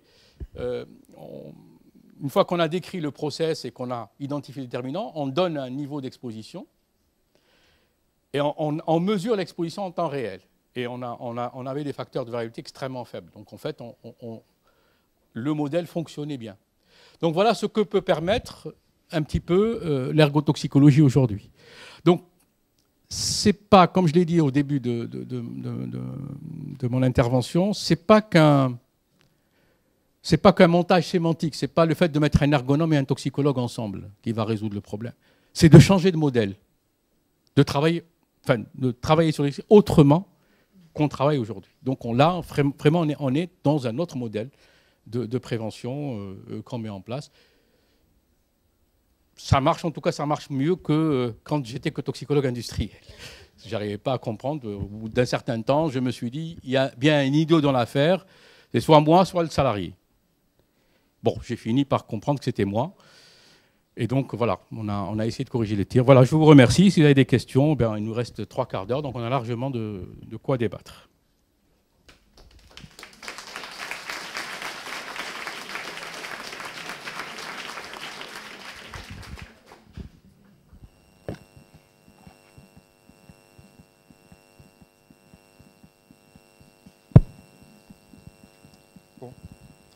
Donc c'est le temps du débat des questions. J'en ai une pour vous, justement, ça, tombe bien puisque vous avez terminé là-dessus, puisque vous avez parlé de changement de modèle. Derrière, il y a un changement de, regard en tant que toxicologue et ergonome. Qu'est-ce que ça a changé pour les métiers respectifs? Parce qu'on voit bien qu'il y a une pluridisciplinarité là qui est en jeu. Qu'est-ce que ça a changé? Alors, je dire d'abord que ça a changé pour moi, toxicologue industriel. C'est clair que le changement est, pour moi radical. Alors, peut-être plus profond que, que celui que peut avoir euh, l'ergonome, parce que bon, moi, ce que j'apportais à l'ergonome, c'est plus de la connaissance que du savoir-faire. Euh, ben, pour moi, de toute façon, euh, ben, le, regard a, complètement changé. C'est-à-dire que d'abord, bon, la, question de la norme a été relativisée complètement. La question des procédures, parce qu'on est dans des, formations extrêmement normatives, extrêmement procéduriales. Donc, de ce point de vue, effectivement, radicalement, le, regard a complètement changé et le statut même, c'est-à-dire que je ne me définis plus comme un expert, euh, puisque l'expertise, c'est euh, le savoir-faire qu'on va construire avec le salarié dans l'activité réelle de travail qu'il a. Euh, voilà, donc je pense que alors c'est un discours qui est difficilement audible, je l'avoue, par les toxicologues parfois. Après, bon, pour les ergonomes, je suis peut-être moins bien placé pour, pour, en parler, parce que moi, j'ai appris l'ergonomie pour l'utiliser directement sur mon modèle. Donc, euh, voilà. Euh, mais c'est vrai que... Euh,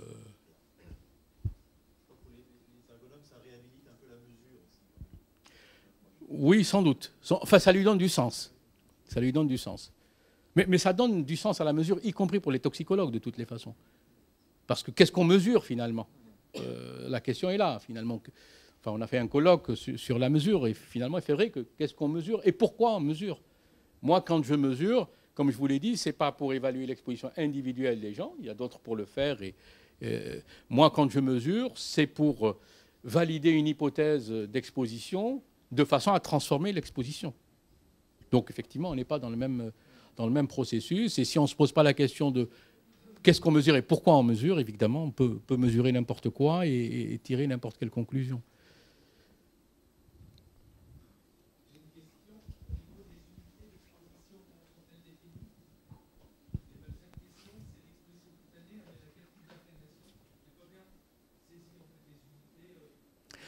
Non. Alors, les, unités, c'est simplement que on, a, on a fait une, échelle de, mesure qui nous permet simplement d'avoir, euh, c'est comme quand vous mesurez la douleur, hein, c'est simplement un, élément qui nous permet de ne pas parler en microgrammes ou en milligrammes parce qu'on ne veut pas mettre cela en relation avec un risque spécifique. Ce n'est pas l'objet de notre travail. Il appartient aux toxicologues qui travaillent sur euh, la dose-réponse de le faire. Oui, tout à fait.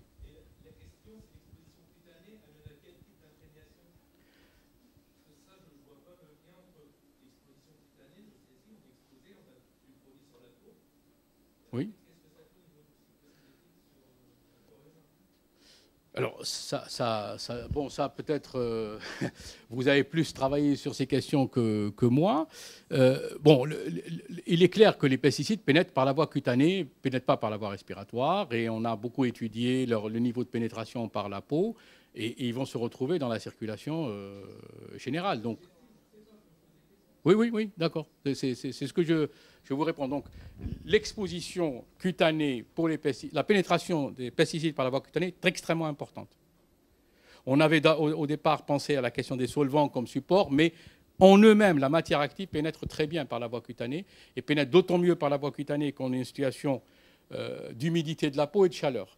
C'est ce que produit exactement la combinaison euh, étanche. Et c'est pour ça qu'on a montré, par exemple, mais ça, je n'en ai pas parlé, euh, on a montré qu'en fait, les, niveaux euh, biologiques de produits, parce qu'on a, on a utilisé, euh, quand on a expertisé la question des, combinaisons, quand on s'est aperçu qu'on recueillait sur la peau beaucoup plus de produits quand on avait... En fait, on s'est aperçu que dans les urines, on retrouvait beaucoup plus de produits quand on était en combinaison quand on n'était pas. Ça paraissait paradoxal, mais simplement que le produit qui a pénétré à travers la combinaison va se retrouver sur la peau en situation chaude et humide et il va beaucoup mieux pénétrer. Et donc ça explique très bien que quand on est protégé, on est plus contaminé que quand on ne l'est pas. Il s'agissait de quel produit? C'était des... dérivés méthylés Je sais pas. J'ai une autre question de la voie digestive, elle est abordée par une bonne méthode? Pas du tout. Pas du tout. Non, non, pas du tout. On a mis en corrélation l'exposition cutanée avec les niveaux euh, urinaires de produits uniquement. On a utilisé un certain nombre de, traceurs avec le, en, fonction de, des possibilités de laboratoire, en fait. On a choisi en fonction des possibilités de laboratoire, puisqu'on a travaillé avec le Limoges. Vous mesurez donc l'exposition cutanée, mais pas euh, l'exposition par inhalation. Si, si, on l'a mesuré, puisque je vous ai donné les résultats tout à l'heure. Mais en fait, dans toutes les études qu'on a faites, et d'ailleurs, euh, même dans les secteurs apparemment euh, non agricoles, l'exposition respiratoire, sauf si on ne sait pas la mesurer, a toujours été extrêmement faible. Hmm. toutes les études internationales qui ont été publiées sur l'exposition respiratoire démontre des niveaux d'exposition extrêmement faibles, en tout cas par rapport à l'exposition par voie cutanée. C'est pour ça que d'un point de vue opérationnel, pour nous, euh, c'est vraiment là qu'il faut euh, mettre le doigt. Euh, pour le moment, on l'a pas. En tout cas, de, de notre côté, on l'a pas, on l'a pas étudié, non. On l'a. Oui, elle, elle, elle, doit exister, mais on l'a pas. C'est pas une voie naturelle dans, le milieu de travail. Hum. Je pense que pour les prochaines questions, il serait bien que chacun se présente pour qu'on sache euh, de quel euh, point de vue il, il pose cette question et de quel métier. Qui souhaite en poser une maintenant Yves? Ah. Bonjour, euh, donc je pose une question en tant que secrétaire d'un CHSCT. Je suis Gaëlle Berchaud. Je travaille dans un bureau d'études dans le domaine de l'environnement. Et en fait, notre bureau d'études fait partie d'une association qui s'appelle l'UPDS, l'Union professionnelle des, euh, des, cités sol polluées, je crois. Enfin, bon, je ne me rappelle plus exactement le sigle. Et euh, une démarche globale est initiée par cette association pour évaluer euh, l'exposition de nos salariés lorsqu'ils font des diagnostics dans le domaine des sites et sols pollués. Donc ma question serait de. Enfin, pour moi, le, modèle que vous m'avez présenté répond totalement à la, pourrait répondre totalement à l'attente de cette association. Est-ce que euh, vous êtes, vous intervenez dans ces domaines d'activité-là? Je ne suis pas là pour vendre de l'intervention. Non, bien sûr que non, mais oui, oui, bien pour sûr, moi, fait. Intéressant, oui, oui, ça, toutes les euh, études qu'on fait, voilà, c'est oui, oui, on fait de l'intervention de ce type-là, oui, tout à fait, oui. D'accord. Euh, ok, bah, merci. Je ne vais pas vous donner ma carte, mais.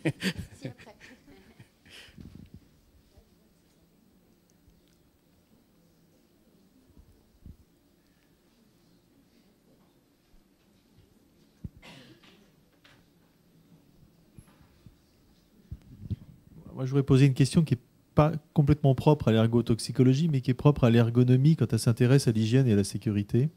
C'est-à-dire que ça, ça montre euh, des stratégies plus précises que ce qui est prescrit, que ce qui est officiellement réalisé. Mais d'autre côté, ça complexifie beaucoup les représentations finalement qu'on peut se faire de la situation. Et euh, en termes de compréhension, je comprends bien, mais en termes de restitution, comment, comment vous gérez ça? Parce qu'on voit des prises de risques, qui, on voit des dénis du risque, qui finalement la mesure le montre assez bien, et comment vous arrivez à restituer par rapport aux opérateurs des éléments de prise de risque qui cachent volontairement ou inconsciemment? Est-ce qu'il n'y a pas un risque d'accroissement de la peur et justement de prise de risque paradoxale ou Comment, comment vous gérez ça? Parce que ça, dans, dans, en psychopathologie travail, on voit des fois des, des Concrètement, aujourd'hui, comment nous on travaille? Donc souvent, on, filme les situations de travail. Hein, donc euh, souvent, systématiquement, on filme euh, les situations de travail, on les filme de façon neutre, c'est-à-dire qu'on place une caméra fixe euh, qui, voit globalement la situation, et puis on a des moments de restitution de films. C'est-à-dire qu'on travaille avec ces films-là, avec les salariés. Donc il y a une garantie de destruction du film, euh, toutes ces problématiques qui sont résolues. Et puis, bon, on est en, autoconfrontation, donc il y a, une discussion. Après, c'est vrai qu'on on peut s'interdire de restituer un certain nombre d'éléments parce qu'on n'a pas le, consensus des salariés sur la restitution de cet élément-là dans le rapport final. Par exemple, euh, c'est anecdotique, mais c'est un problème qui s'est posé lorsqu'on a fait le travail sur l'amiante. À un moment donné dans le film, un salarié apparaît avec une cigarette euh. Euh, évidemment, bon, il a sauté au plafond en disant oh, pas question de, de, montrer cette image, évidemment. Bon, puis ça nous ça nous aurait rien ramené de toutes les façons de la noter. Donc, c'est des images qu'on va couper. Euh. Donc, c'est effectivement d'avoir un, lien de confiance dès le départ avec les salariés en disant que, voilà, clairement, que le film va devoir être lu par eux pour, comprendre comment ils, travaillent. Et, je dois avouer que ça se passe très très bien. Ça se passe très bien, donc les gens, effectivement, euh, parlent, ah oui, euh, on a découvert ça. Et cette image-là de, cette femme qui, appuie, c'est elle qui a, qui a tout de suite compris, le, dès qu'on a présenté le truc, elle nous a dit, ah oui, mais merde, mais j'appuie avec le, truc, c'est aussi simple que ça.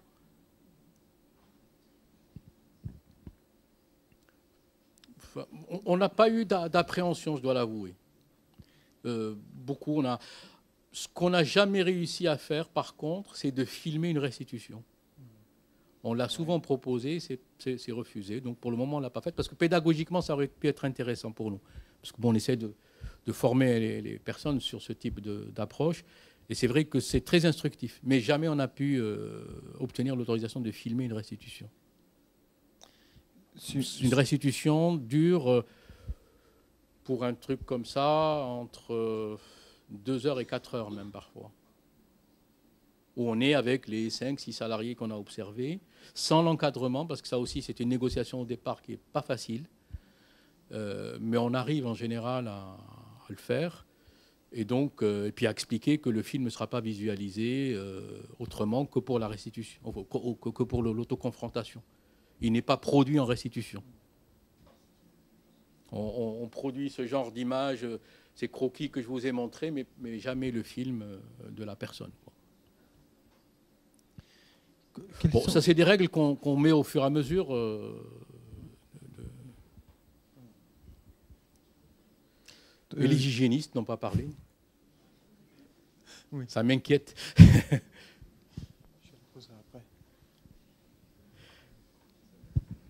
Euh, bonsoir, Stéphane Toulguat. Donc, euh, je suis euh, responsable HSE d'une usine, en tout cas d'un site chimie Pyro. Et à ce titre-là, effectivement, c'est des approches effectivement qu'on a déjà, même si on faisait effectivement de la pro sans le savoir. C'est effectivement de toute façon des approches qu'on a déjà. Par contre, ma question, je dirais par rapport à ça, comme elle est complexe effectivement à retranscrire, cette solution-là, ma question c'est comment effectivement la réglementation peut-elle effectivement rebondir à pouvoir prendre effectivement ce type de, cas de figure en, compte. Quoi. Euh, C'est lourd. Pour le moment, de toute façon, en réglementation, on est dans une réglementation taylorienne. Hein. De toute façon, que ce soit les neuf principes de prévention ou euh, on est euh, dans une approche. alors, je ne saurais pas répondre sur le plan réglementaire. Par contre, un travail qu'on est en train de faire actuellement dans, chez les pétroliers, enfin, le hasard a fait qu'on a été sollicité. Euh, chez un pétrolier anglo-saxon, donc où la question des procédures se pose de façon extrêmement forte. Et ce qu'on est en train de faire, euh, c'est très original, c'est comment introduire dans la procédure de la marge de manœuvre. C'est un défi difficile, mais qu'on est en train de, tenter réellement. Donc, ils ont accepté le, le, jeu. Et en fait, actuellement, donc on, on va sur le terrain, on prend la procédure avec le salarié, on essaye de la reconstruire et puis on essaye de voir quelle. Et, toute la problématique, c'est comment, dans la procédure, introduire des marges de manœuvre. C'est-à-dire euh, euh, dire que ben, cette, chose-là, vous pouvez la faire en 30 secondes, mais vous pouvez la faire en 3 minutes aussi. Euh, ou vous pouvez utiliser tel outil ou tel outil. Donc ce genre de marge, on essaie de les donner dans le cadre de procédure. C'est-à-dire donner une liberté à partir des différentes pratiques, créer des marges de manœuvre à partir des différentes pratiques qui sont observées. Euh, voilà, sur cette question-là, je peux vous répondre. Sur la réglementation, euh, bon, sinon que euh, bon, la VLEP, il faut un moment ou un autre qu'on cesse de raconter n'importe quoi. Il faut qu'aujourd'hui, je crois qu'il y a des, médecins du travail qui sont ici c'est que quand on parle de la VLEP, il faut. Euh, toute la difficulté, c'est qu'est-ce qu'il en reste quand on a dit tout ce, qui ne va pas, finalement. Euh, donc aujourd'hui, effectivement, ces questions-là, il faut qu'on les. Euh, qu'on arrive à les, à les, dépasser. Là, par exemple, l'ANSES est en train de s'engager sur la reconstruction des VLEP de la façon la plus complexe et la plus lourde qui soit, et on n'aura pas des VLEP avant 20 ans par les processus qui sont engagés. Parce qu'on estime euh, qu'il faut des choses extrêmement précises, etc. Et, on, a, du mal à dire que la VLEP, elle est, ben, elle est relative, point. C'est tout. Que, c'est un élément de la construction de la prévention. Mais la prévention ne peut pas reposer sur des normes. C'est peut-être par ce biais-là que je vois aujourd'hui concrètement l'entrée dans, la, réglementation. Après, bon, euh, la réglementation, c'est souvent des, principes de... Euh, euh, mais on ne va pas dans le bon sens en réglementation. On ne va pas dans le bon sens parce que je vous ai dit, hein, la, question, par exemple, des EPI, n'est pas du, elle est prise en charge de la façon la plus mauvaise qui soit. Que ce soit sur le bruit, on a imaginé monter à 87 décibels si on, est, on a des protections ou pas, c'est n'importe quoi. Enfin, et maintenant, l'étant au risque chimique, puisqu'on modifie les, VLEP en fonction de, de la présence ou non d'équipements de protection individuelle, alors qu'on sait que c'est tout à fait relatif, c'est très individuel. Euh,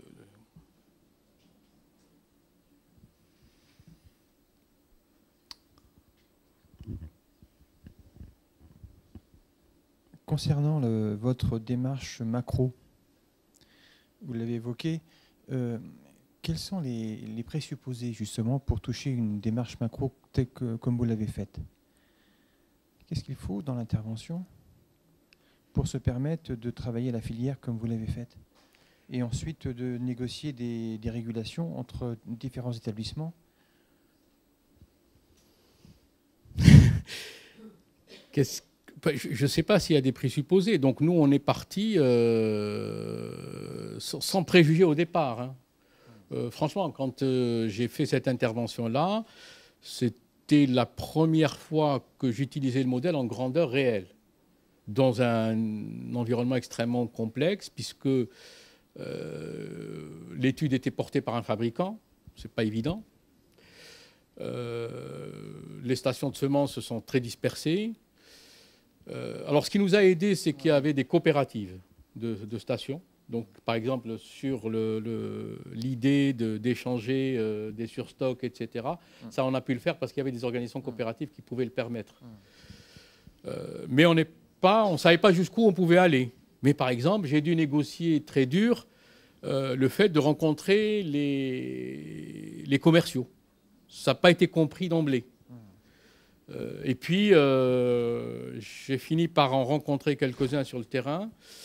Je les ai amenés dans, l'usine avec moi et c'est de là qu'on a pu finalement, en, faisant remonter la demande par deux ou trois commerciaux, de pouvoir réunir les douze commerciaux de la boîte, de pouvoir louer un bus et d'aller les, les, trimballer pendant toute une journée dans des stations.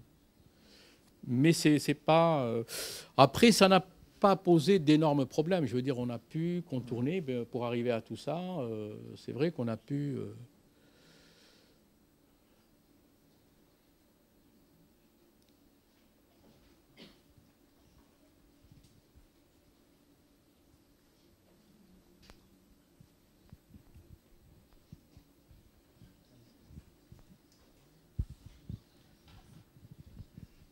bonsoir. Donc Eric Vier, euh, je suis dans l'enseignement technique. Euh, ma question, c'était intervenez-vous dans, l'enseignement pour intervenir euh, bah, en amont par rapport à la prévention et puis proposer un modèle de tel, de tel type Dans l'enseignement? Ouais. Au niveau. je ne bah, suis pas intervenu dans l'enseignement. Il a pas eu de. Moi, je n'interviens qu'à partir des demandes qui sont formulées. Donc, sur cette question-là, effectivement, il n'y a pas eu de. Il n'y a pas de. Non, on n'a pas eu de non, on aurait pu imaginer intervenir dans, ne serait-ce que dans, les, facultés, dans les laboratoires de recherche, mais bon, on n'a pas eu cette, opportunité, non, pas, encore en tous les cas. Mais, pourquoi pas Je veux dire, euh, à partir du moment où vous avez des, situations à risque, vous pouvez déployer le processus de toutes les façons. Il y a probablement pour l'intégrer en termes d'intégration directement dans les modèles, enfin dans les. Alors, euh, par contre, effectivement, euh, ce que vous euh, ce qui est regrettable, effectivement, c'est que, euh, je le disais tout à l'heure, qu'il y a un certain nombre de modules qu'il faut, qu'il faut, introduire dans les enseignements, euh, en particulier si les hygiénistes. voilà, quelle part à l'ergonomie ou, ou, l'anthropologie, par exemple, parce que ces questions-là se posent. Hein. On, est en train de, de, produire un papier sur les questions anthropologiques que pose, par exemple, la question des pesticides chez les semenciers et chez les endiviers. Parce que, bon, quelque chose que j'ai perçu très très vite, c'est que nous sommes en phase d'agriculture, d'agriculteurs, pardon, mais qui rentrent dans des processus industriels.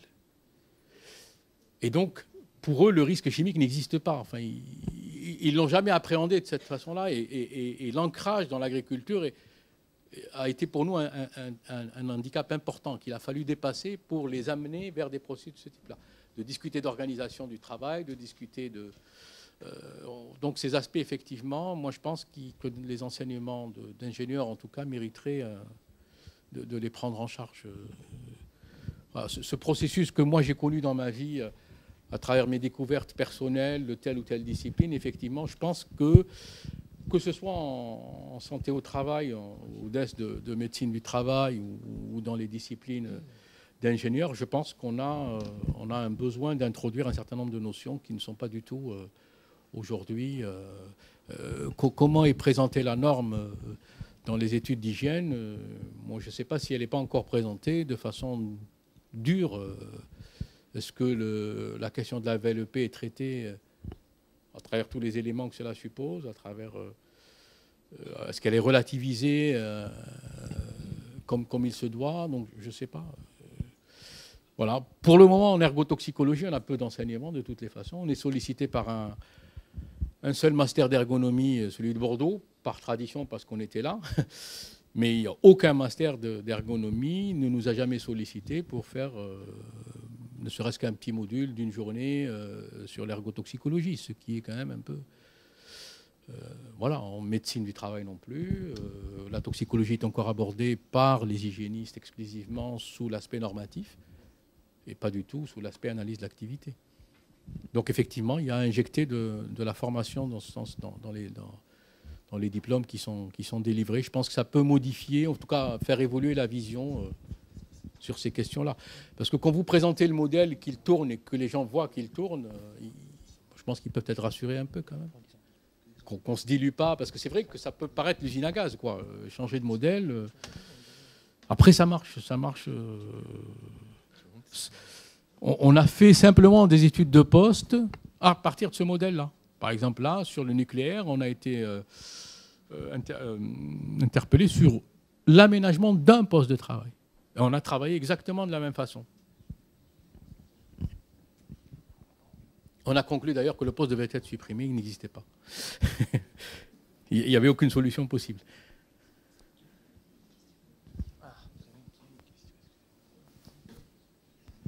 Bonsoir, Nathalie Noyer, euh, responsable HSE et en même temps euh, étudiante au CNAM d'IHIE. Euh, tout à l'heure, vous nous parliez de, que lors des restitutions, il n'y avait aucun responsable qui participait. Mais pour faire des modifications de procès, je suppose que vous passez également par le management. Tout à fait. Donc, Mais dans un deuxième comment, comment avez-vous réussi à leur faire accepter ce changement? Ça n'a pas été facile, mais je pense que. Euh, c'est-à-dire que les ergonomes répondront mieux que moi peut-être à cette, euh, cette problématique-là, parce que quand on met sur la table l'activité de travail, bah, la réalité, elle est là. Personne ne peut aller contre l'activité de travail. C'est ce, qui, c'est ce qui est mis sur la table et c'est ça. C'est qu'on dit voilà, nous, on a vu comment vous travaillez et voilà ce qui en ressort. Et voilà les ressorts qui sont derrière de votre point de vue, et voilà ce qui ne va pas de, notre point de vue. Euh, moi, je me rappelle d'un directeur d'un semencier euh, qui, qui, voulait absolument pas, par exemple, qu'on fasse une, euh, une, autoconfrontation avec les salariés au départ. Il voulait absolument que au moins l'encadrement de proximité participe. Bon, il a fallu batailler de très longues heures avec lui. Finalement, il a accepté. Et puis, il a, finit par reconnaître publiquement qu'il s'est trompé, qu'effectivement, euh, euh, ce passage, on leur explique que c'est un passage méthodologique, c'est pas un parti pris, c'est pas idéologique, c'est un passage méthodologique. C'est une étape dans le traitement de. C'est comme, quand on fait un diagnostic, quoi. Euh, ben, il faut passer par telle étape. Et puis, une fois que vous leur expliquez qu'il s'agit d'une étape méthodologique et que c'est pas un, un, choix idéologique, je pense que ça passe. Jusqu'à présent, on n'a pas eu, en tout cas, de. Je n'ai jamais fait participer l'encadrement à, une restitution entre salariés. Donc ça marche. Vous, avez vu la, liste d'interventions qu'on a faites. On n'a jamais eu ce problème-là. On arrive en tout cas à, réduire les, appréhensions euh, qu'ils peuvent avoir au départ. Après, on travaille beaucoup avec euh, l'encadrement de proximité. Euh, ce qui est intéressant à faire également, c'est de faire asseoir l'encadrement de proximité production et les HSE. Parce que souvent, euh, la chose qu'on rencontre, c'est que quand on parle de protection, par exemple, ou, de procédure de sécurité, l'encadrement de proximité euh, production nous dit ça, c'est l'affaire des HSE. Euh, ou quand on voit une affiche, pourquoi l'affiche est là Il nous dit Ah oui, mais ça, je ne sais pas, c'est le HSE qui l'a mise ici. Donc on a dû travailler avec eux. C'est en disant Voilà, on va vous mettre ensemble et on va essayer de comprendre comment ce c'est le problème des autres. La prévention est complètement externalisée par l'encadrement de production. Donc, toute l'intérêt de la, c'est d'injecter dans le, métier de, production la question la, de la santé et de la sécurité. Donc, euh, Barbara Huneau, étudiante en master euh, management et gestion des risques en santé et en industrie à l'ISBA. Euh, j'entendais parler tout à l'heure de, de vos interventions sur le terrain en hôpitaux et je voulais savoir en quoi elles consistaient. Alors, dans les hôpitaux, on a beaucoup travaillé sur les blocs opératoires et les anesthésiens. Euh, bon, ben on, a, procédé de la même façon, donc euh, analyse de l'activité, euh, compréhension du positionnement de, l'infirmière de bloc et des chirurgiens, qui donnent les ordres, comment les ordres sont perçus, l'anesthésiste, comment il travaille, à quel moment il anesthésie ou pas. donc tout ça a été, a été étudié. On a beaucoup travaillé également sur le personnel de ce qu'ils appellent personnel de surface maintenant, traitement de surface. Donc tout ce qui, tout ce qui est femme de, femme de ménage. donc on a beaucoup travaillé également sur ces questions-là dans, les hôpitaux. Puisque euh, ce qui fait l'usage de, produits chimiques importants dans, dans les milieux hospitaliers et médico-sociaux, c'est quand même les, les, ASH, le personnel euh, d'entretien.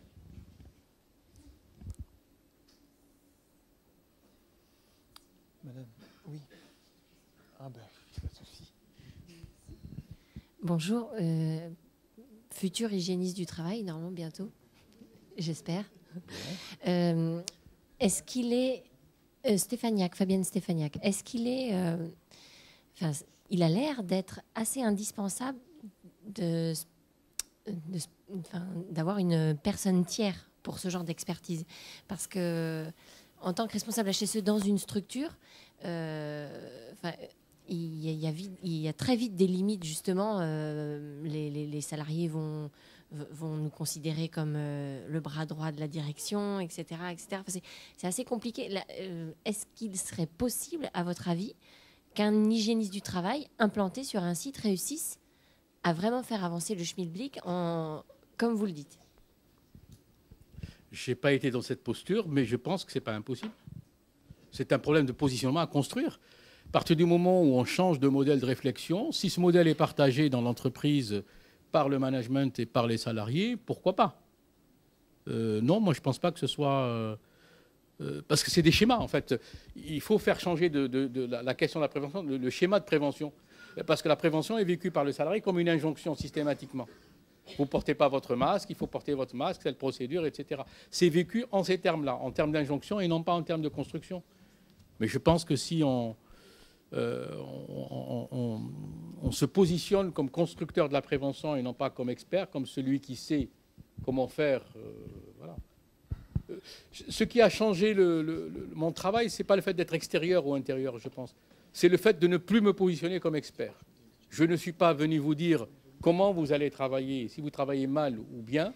Je suis venu vous aider à construire quelque chose qui marche. Et je crois que c'est ce discours-là qui fait changer le positionnement c'est de ne pas se positionner comme expert. Il n'y a pas de bonne pratique. Moi, je n'ai aucun jugement de valeur sur les pratiques des gens. Je dis, voilà, vous avez les pratiques que vous avez, et ces pratiques, moi, je vais essayer de les expliquer à travers mon modèle, de les comprendre, et de vous dire qu'est-ce qui ne fonctionne ou qu'est-ce qui ne fonctionne pas dans vos pratiques. Est-ce que vous, êtes pertinent dans, ces pratiques-là ou pas? Et c'est eux qui vont corriger leurs pratiques. Moi, j'ai pas. Et je peux accepter, par exemple, une exposition. Euh, corps total euh, en protégeant seulement les mains. Vous voyez, ce genre de compromis, je peux tout à fait, en tant qu'hygiéniste, l'accepter. De dire, eh bien, vous aurez quand même 15% d'exposition. Mais pour le moment, c'est tout ce qu'on peut faire. Sur les gants, par exemple, pour les semenciers, ce qu'on a fait, on a mis en place un programme de formation chez les recruteurs de salariés saisonniers. Et ce programme de formation se déroule de la façon suivante. Bon, on est parti de l'hypothèse qu'un chirurgien sait utiliser des gants. Il n'y a pas de raison que l'ouvrier ne sache pas les utiliser. Pas parce qu'on a fait 12 ans d'études qu'on sait utiliser des gants. Il faut apprendre à utiliser des gants. Donc on a pris le schéma chirurgien et on l'a appliqué euh, chez des, salariés de base. Donc on arrive, on, met un produit neutre rouge, on leur dit voilà, vous allez mettre vos gants, vous allez manipuler le produit et vous allez retirer vos gants. Et tant que vous avez une tache rouge sur les mains, vous êtes recalé. Alors c'est très ludique, ça prend une heure de temps, et puis au bout d'une heure, tout le monde sait utiliser des gants, les enlever en les invaginant sans euh, se, contaminer. Voilà. Après, on a organisé un compagnonnage les 15 premiers jours du travail de saisonnier, et je pense qu'on a beaucoup amélioré le... Et on ne leur demande plus de porter des combinaisons étanches et des masques. Et on a réduit quand même de, près de 80% les niveaux d'exposition, ce qui est quand même déjà... Oui, oui, tout à fait, tout à fait. Oui Je crois qu'il y a... Pardon? J'ai pas entendu.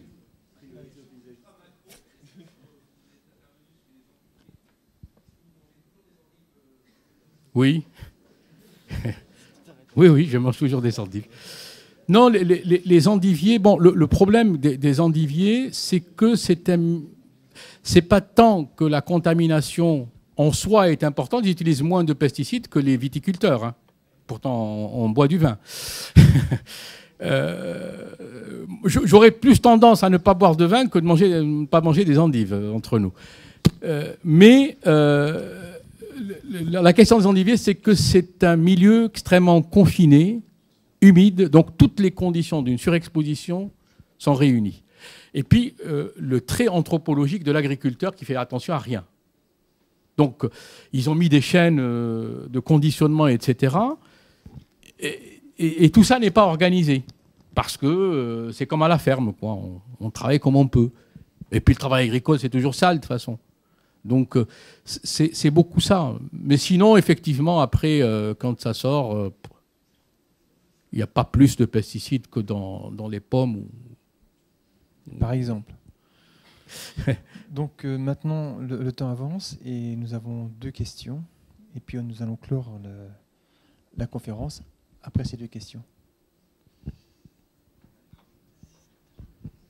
Bonsoir, Thomas Poulet. Donc, euh, je suis en formation en hygiéniste du travail à, Angers.